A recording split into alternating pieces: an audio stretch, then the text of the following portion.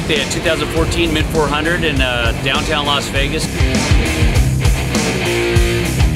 Yeah, this year for the uh, Mint 400, we got a whole new deal. Uh, Rob and I got the uh, Rockstar uh, BFG Fox Ford ready to go. I'd say the Mint 400 is going to be definitely the uh, kind of the who's who uh, with you know 57 trophy trucks. To have all those vehicles out there at the same time, starting two at a time every 30 seconds, it's going to be war out there.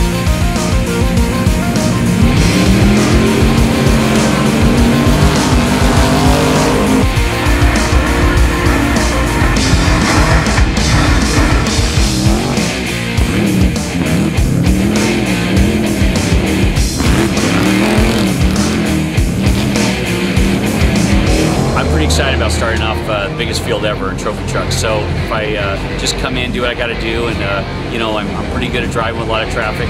–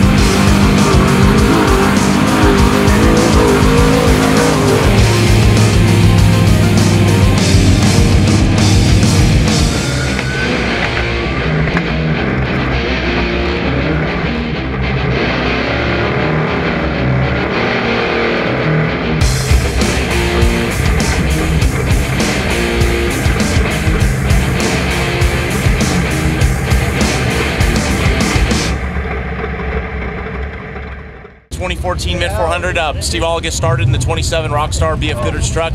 Uh, drove the first two laps and um, uh, had a pretty good run. And I got in the truck. We had a good run all the way until uh, pit B on the second lap or the third lap. Uh, we started having an electrical problem. We got it here to main pit. Spent about an hour trying to figure out the problem. Uh, finally figured it out. Then went out on the last lap. But being that far back, we're really you know in the dust and uh, the sun was going down, so the dust was just settling and there was no way to get through the traffic, and uh, you know we just had to settle in and try to get around that last lap. But it's good to bring the truck home. A lot of guys on this team worked really hard, um, you know, to, to get us here uh, to the finish line, and uh, got to thank Mark Newhand for doing all the prep and and uh, Team Ford, um, you know, Fox Shocks, KC Lights, uh, Jason, co-rider, rode the whole way. Track's really really rough out there, and I got really torn up there on the last lap. Um, but we made it. We're here.